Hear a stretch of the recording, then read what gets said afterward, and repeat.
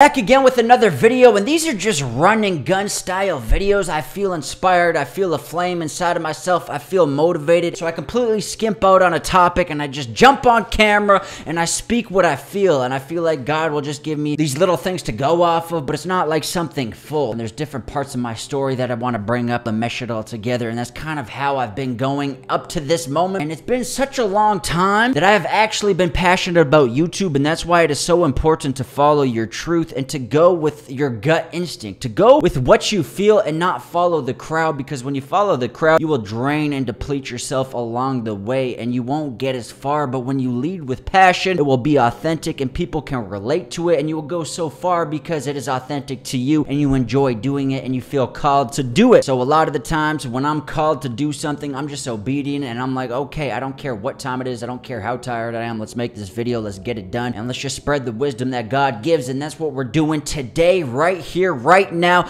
I've been in so many conversations and so many dialogues for hours upon hours with different individuals, just scraping out my brain and going into deep conversations. And I'm not gonna lie, I'm pretty drained, but there's no excuse. Today at 6:30, I met up with some missionaries, and this was the last grand conversation that was taking place. And this is where we departed because I believe in the original Christianity, like the original book. I believe in the tree. You know, I don't believe in the branches that stem from from the tree, and that is just me personally. And if I'm wrong, then so be it. You know, if the Mormons are right and I happen to go to hell because I believe this is my truth, then so be it. And if they're wrong and they go to hell, who cares? But you can tell why there's a huge war in Christianity because we want to be right. We want to be in the right path because God warns about false doctrines, false preachers. Your best bet is to go with the original book, the one that started it all. And this was the last grand conversation we were going to have before they were going to baptize me, and I was breaking it off. I do not believe in what you guys believe in and what you dedicated two years of your life for is a lie, or that's how it came across, or that's how I felt. So I was just hyperventilating. I'm like, oh my God, this is gonna be so weird. It's gonna be tense. It's gonna be awkward. And I just went into the moment. We were talking for an hour and it was back and forth. I was being very respectful because a lot of Christians, they wanna attack other Christians, and I get it. God prophesies and he always talks about false doctrines and false teachers and how you gotta be careful and you gotta follow the truth truth and don't get led astray by the Antichrist and all these things. So when we feel the wrong thing, we want to attack. And that's not really the way I seen it in that moment because we are both rooting for God and that is our truth. It is a sin to lead people astray and to lead people into the wrong direction. But this is how I see it. And God, if I'm wrong, strike me down. It doesn't really go with the Bible, but you know how Jesus is. He's all loving. He wants everybody to be together. He loves literally everybody. And these individuals, they are in the right direction. Like they are saving people people, even if it's not a thousand percent aligned with what God wants, and it strays away from His path and it is false teaching, which is a sin. Don't get me wrong, God does not promote that at all. Those individuals still brought me here, which is helping other individuals. And when I was starting my journey, these mega churches, Joel Osteen doesn't talk about gay marriage or how homosexuality is a sin. He doesn't brush upon those topics. He doesn't talk about things that are true Christianity, but a lot of these things are stepping stones to God and it is up to us to take it to that place. You know, there is a lot of teachers and there's a lot of prophets who come out who do tickle the ears and they tell you what you want to hear. For you as an individual, if you want to go deeper in the faith, you could go to the next level and you could go to somebody who has that sound doctrine, somebody who is speaking the truth. Like I started with Joel Osteen when I was at work, when I was just getting introduced to God. I started with Joel Osteen and it was motivating me and that's what brought me to God. And that's why I'm very hesitant on attacking attacking righteous individuals or people who are walking with God because God is using them in some way. And for me to be like, you're going to hell because you are dedicating your life to Jesus, but that's your truth and you've been led astray. Like, I don't know. It just doesn't resonate with what God truly wants. There is true wickedness in this world that we as Christians and the whole embodiment of Christ should band together and combat that and not attack one another. Like, I could stand beside a Mormon and he could have his beliefs that don't align with the Bible at all, but that doesn't mean they're not bringing people to Christ. People could go to that church, they could learn about Christ, they could learn about his love. If they want to go deeper with the truth, they could just ask God for the truth. Like it's better than kids being picked up by the wickedness. It's a fine line. There is false teachers and there are people who are tickling the ears, but God has called everybody to do their own things, to call people into the kingdom in some way, like Cardi B. The opposite of a godly woman, but she came out and she said she is a Christian. She believes in God.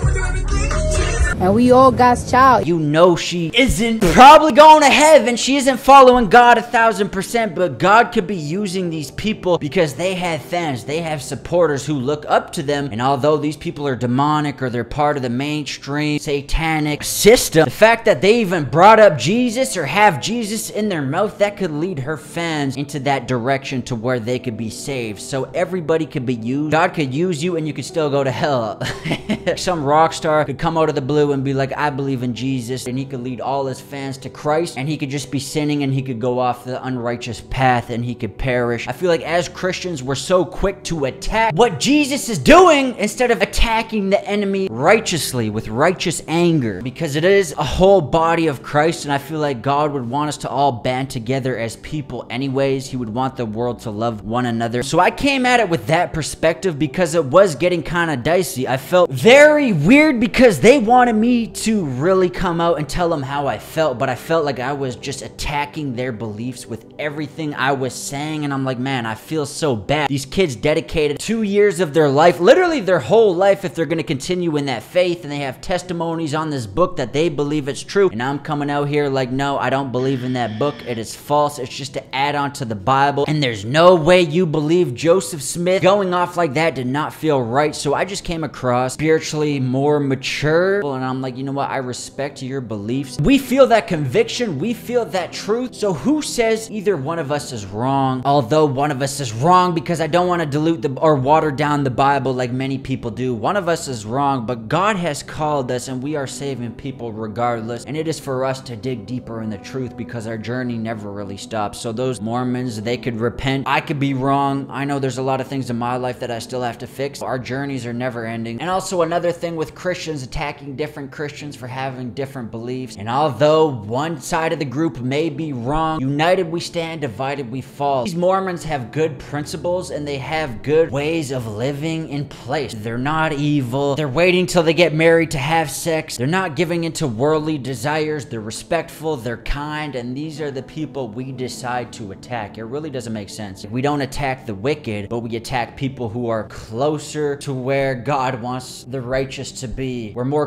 critical on those people, which yes, we do hold more of a responsibility because we have more knowledge, which makes us more accountable for our actions. And we do have to continually learn and better ourselves because we do know and the wicked, they really don't. These people already have good morals in place. And who are we to cast a stone? Like God said, check your own eye for the plank instead of checking somebody else's. Uh, that's definitely not what the script these people are morally living better than 99.9% of the world, and that's truly what God wants. And yes, we all fall short of the glory of God, each and every single one of us. But one thing is for certain, this did not make me feel good. They felt defeated when they left, and I felt like I had the Holy Spirit. In my heart, in my mind, felt like I was a little closer to the truth. I'm like, yes, I'm just gonna back the original Bible, because in that Bible, God said there will be false prophets. After that book, all of that stuff applies. But as for the Bible, I see the Bible as the truth, and everything else is just an add-on and I don't necessarily see it as the truth. It just expands my wisdom and it expands my mind on who Jesus was and just the story. But this is exactly what the government wants and it doesn't even have to be a religious thing. Like they want us to be attacking each other. They want us to be all divided. They want the family structure to fall apart. They want us to be against each other because if we were all standing together united and we looked at the real issue, the main problem, which is the government and those wicked beings at the top, if we all banded together together and we looked at them and we started marching towards them, that's when real change would go down. But the government, they want us to be divided. They want us to fight, whether it's BLM, religion, or whatever else they bring up to separate the people amongst the people. That is what they want because the more we fight, it decreases our odds of really making change in this world. But if we did stand together, Christians as well, the Christians all stood together and they're like, you know what? We believe in Jesus. We believe in these morals. We believe in these principles. The wicked's got to go. And we marched forward like that. It doesn't matter matter if you believe you're going to transcend into a God, you only believe in the KJV Bible and you don't even believe in the principles or the morals. If you just believe in the Bible and that's it, okay, let's just march forward and we believe in God and we believe in these principles and let's just push out the wicked. If we march forward like that, all the people who don't even believe in God, they'll be like, you know what? We're sick and tired of this wickedness and we just band it together. That would be powerful. That's just what the government wants. They want us attacking each other. They want us wasting our energy. And that is just a control tactic that they have, which is unfortunate. But hey, what can you do when you live in a shoe? But yes, I'm still still a Catholic, but I still will go to this Mormon church and I believe I will be influential because they do enjoy my presence because I'm bold and I speak the truth and I don't really care. And I open up the conversations that people really want to hear, but nobody's really talking about it. And that's what lightens up the spirit. That's what brings the fire. That's what brings the enthusiasm and that's what brings the life to this planet is when people are bold and they want to speak the things that nobody really wants to speak about. It opens up that conversation that people have been suppressing for years. I'm bold enough to say the truth and just to open up that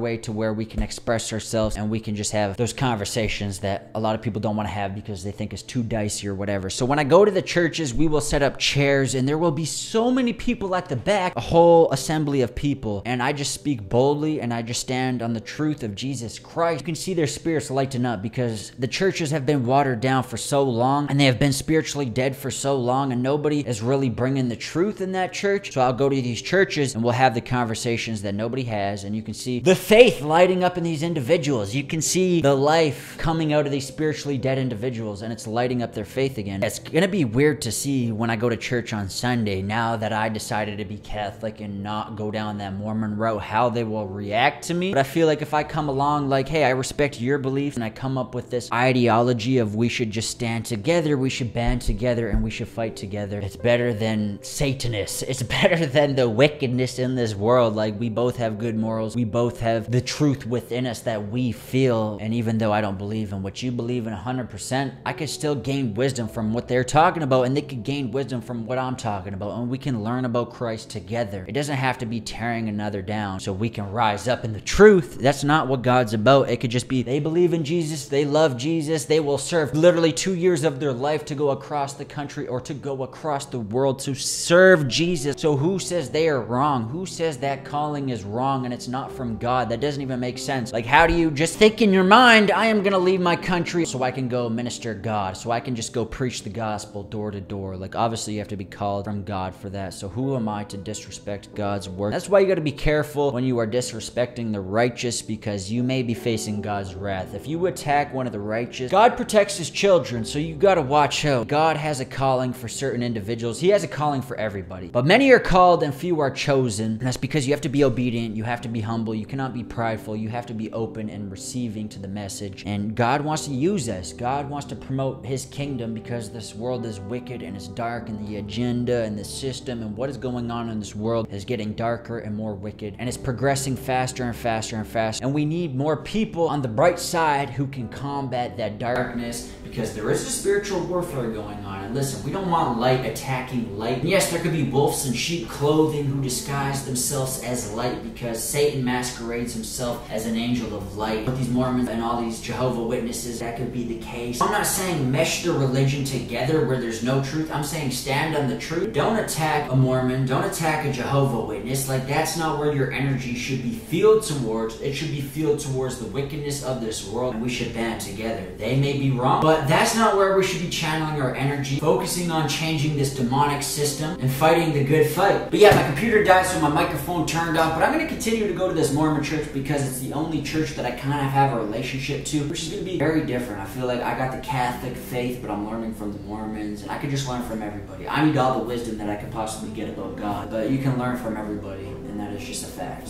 moment you think you can't, you turn into a fool. And when it comes to you, you gotta seek that truth for yourself. You gotta ask God for that truth. And that's all you can do at the end of the day. When I say God, Jesus. Jesus, God, God, Jesus, because you know, you never really know God you're praying to. Be careful. So yeah, anyways, that is all. That is it. And I'll see you guys in the next one.